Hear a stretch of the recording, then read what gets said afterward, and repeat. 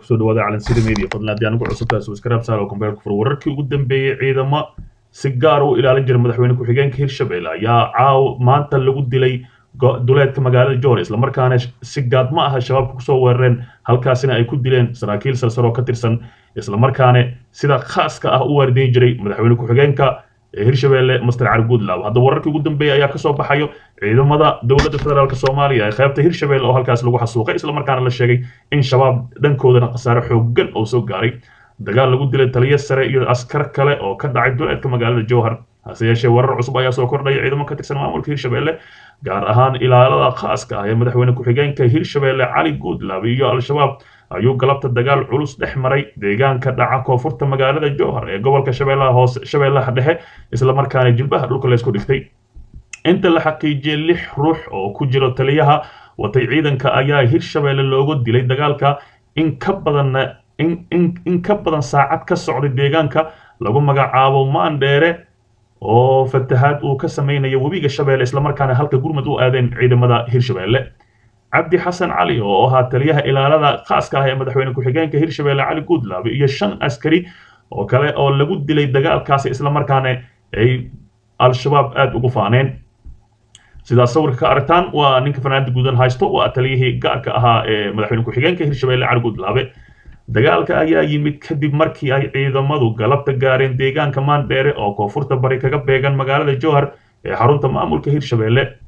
ciidamada ayaa halkaas u gaaray sidii ay u xakameyn lahaayeen fatahaadda uu webiga shabeelle ka sameeya deegaankaasi waxaana intii ay ku howlanaayeen joojinta fatahaadda webiga weerar gaadmo ah ku soo qaaday dagaalyahanada ka tirsan al-shabaab waxaana halkaasi ka qarxay dagaal culus oo islamarkaana lixdaas askari ay ku naf waayeen hase yeeshee dagaal xoogan ayaa ayagana soo khasaare xoogan ayaa soo gaaray al-shabaab. Hase yeeshee wax faahfaahino ah ma asan laga bixin ciidamadii soo cararay oo la socday sargaalkan la dilay iyo shanta kale ayaa la sheegayaa inaysan weli war wax warbixin ah ay ka bixin.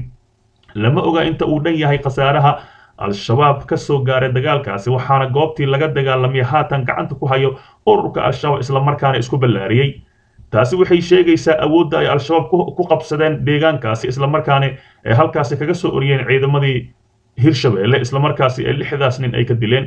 dadka ku nool deegaanka oo dagaalka u dhacay ayaa warbaahinta u sheegay al-shabaab ay dib u fureen biyo xireenkii sameeyeen ciidamada hirshabelle islamarkaana biyaha uu fatahaya webiga ay ay jareen waddada xiriirisa magaalooyinka balcad iyo jowhar. Ciidamada ciidamadii halkaasi lagu dilay ayaa biyo xireen weyn sameynaya islamarkaana markii dagaalka u dhacay kadib ururka al-shabaab ayaa gebi ahaanba burburiyey biyo xireenkii ay sameeyeen ciidamada islamarkaana biyihii ay soo baxeen gebi ahaanba ee waddada balcad iyo jowhar ay xireen. Ciidamadii hirshabelle ee dagaalka la galay al-shabaab qaybtii soo hartay ayaa dib ugu soo laabatay magaalada jowhar oo kolkii horeba ay ka soo baxeen.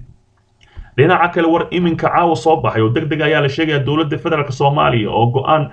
dowladda federaalk soomaaliya oo soo saartay go'aan ka dhan ah duulimaadyada kenya iyo kismaayo islamarkaana baan ka dhigtay diyaarad kasta oo kenya ka imaanayso kismaayo inse inaysan toos u tegi karin. Haddaba wararka xiisaale ayaa la sheegaya xilli madaxweyne farmaajo iyo uhuru kenyatta ee addis ababa kuwada sugan yihiin ayaa hay'adda duulista hawada rakaabka ay soo saartay caawa go'aan halis ah islamarkaana wadna qabad ku noqon doono dowladda federaalk dowladda kenya ee dariskaanu nahay. Hay'adda duulista rayidka ee saadaasha hawada soomaaliya ayaa caawa soo saartay qoraal ay qoraal ay ku mamnuucayso duulimaadyada tooska ah ee ka dhexeeya kenya iyo kismaayo.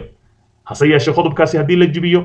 waxaa dhacaya ganaax aad xoogan. Warqad ka soo baxday qaybta adeega akhbaaraadka duulimaadyada hay'adda ee fis ayaa heshay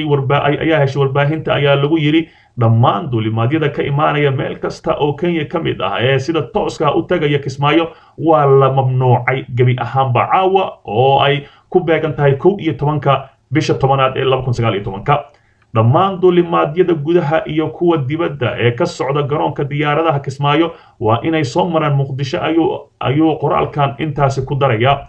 Dowladda soomaaliya ayaa horay u mamnuucday duulimaadyadii tooska ahaa ee kismaayo mana jirin wax qoraal rasmi ah oo go'aankaasi lagu bedelay oo dib uga soo baxay shanta shantii bishan ayaa waxaa amarkaasi jibiyay diyaarad ka timid nairobi oo si toosa ugu degtay magaalada kismaayo islamarkaana bilaa amar ka soo degtay.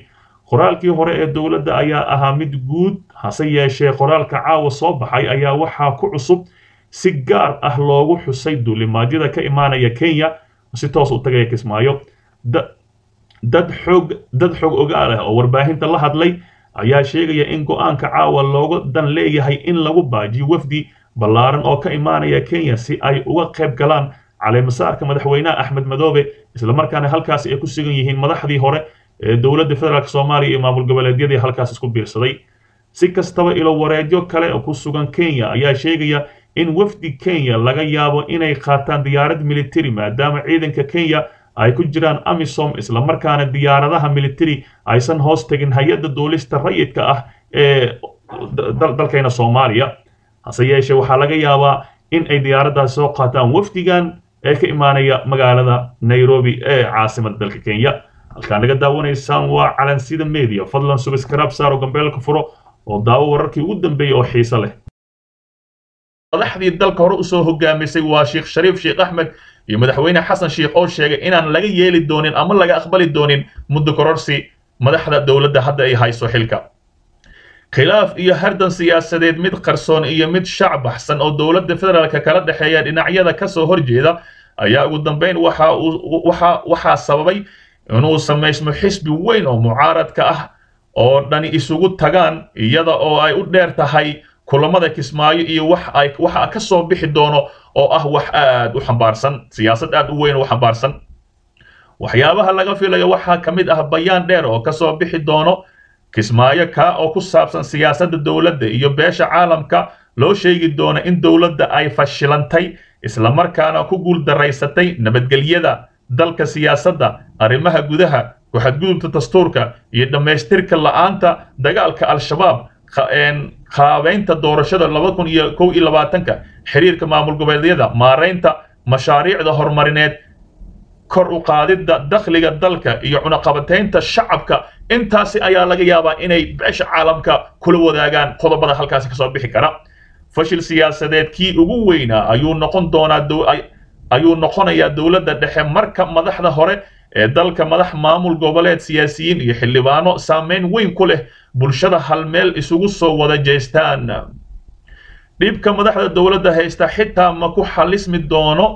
haddii madaxweyne farmaajo uu xilka ka qaado ra'iisul wasaare xasan cali khayri si siyaasadda dalka u noqdo mid degan oo furfuran balse waxaa muhiimad gaar ah leh in dowladda heshiis la gasho mucaaradka kana jawaabto eedeymaha waaweyn ee lagu haysto kana tanaasusho dana gaar u ah iyada oo ka baxsan qarannimada ayaa lagu sheegay warbixintan xasaasiga ah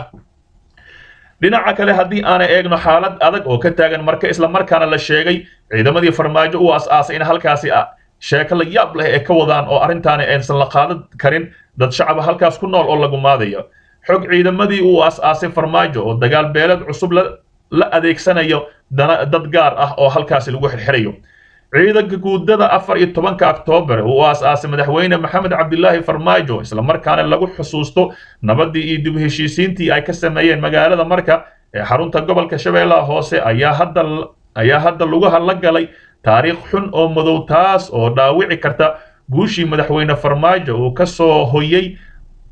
dagaaladii marka ee qabaa'ilka salka ku hayay islamarkaana halkaasi heshiis weyn kala dhex dhigay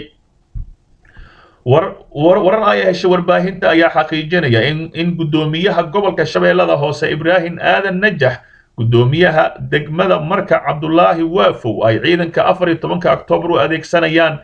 caburin xarig iyo jirdil dad gaar ah oo dega marka kuwaas oo aan weli ka soo kaban boogihii ka dhashay dagaaladii sokeeye oo mar dhow heshiis halkaasi laga dhigay warbaahinta ayaa xaqiijisay in tobaneeyo dhalinyaro ah oo aan waxba dembi ah galin ay ku xidhan yihiin magaalada marka kuwaas oo ka soo jeedo beelo gaar ah waxaana arrintaasi lagu tilmaamay beegsi gaar ah isla markaana foolxun. Sidoo kale waxaa jira in marka ay magaalada wax ka dhacaan la xiro oo keliya dhalinyarada ka soo jeeda beelaha hawiye iyo banaadiriga waxaana dadka ay aad ugu cabanayaan dhibaatooyinka kala kulmaan dad u dhashay beesha biyomaal gaar ahaan waafow iyo sargaalka hogaamiye afar iyo tobanka oktoobar cusmaan xasan oo loo adeegsada caburinta shacabka ayaa warbixinta lagu sheegay. Najax oo ka soo jeeda beesha garre ayaa isbahaysi la ah sargaal biyomaal ee waafow oo ku sargaal biyomaal ee waafow u ka mid yahay ayaa warbixinta lagu sheegay. Dadka banaadiriga ah ee beelaha kale hawiye ah ayaa waxaa dareemayaan caburin iyo dhibaatooyin daran oo aan lala aan lala qaban. Waxaana waxaana tabasho ka nahay najax waafow iyo cusmaan xasan haddii aan wax laga qaban ayay dhaheen dadkaasi. Waxaa halkaasi dib ugu qarxi doono dagaalkii sokeeya. Muddo aan fogeyn ayuu yidhi sargaal sare oo ka tirsan militariga soomaaliya oo ku sugan gobolka shabeellaha hoose islamarkaana magaciisa qariyey. Maalmo ka hor waxaa jirtay in ay xiisad culus ka dhalatay. Odayaal gaaraya toddoba qofood oo lagu xiray marka kadibna ay magaalada halis gashay in ay dagaal dib ugu qarxaan. Ayuu yidhi qofka aan la qofka lala hadlay oo magaciisa qariyay oo ka tirsan saraakiisha militariga soomaaliya ee gobolka shabeellaha hoose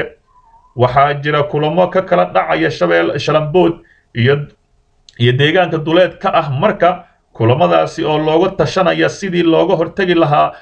waxa tacadiya ugu yeereen dadka deegaanka ee gobolka gobolka gobolka shabeellada hoose gaar ahaan beelaha habargidir abgaal iyo baadicadde iyo beelaha dhan oo halkaasi lagu gumaaday. Dadka deegaanka ayaa qaba cabsi badan oo ah in dagaalkii ay dib ugu laabtaan hase yeeshee haddii aysan ka soo gaarin madaxda qaranka oo aan dadka la caburinaya laga daynin ayaa warbixinta lagu sheegay.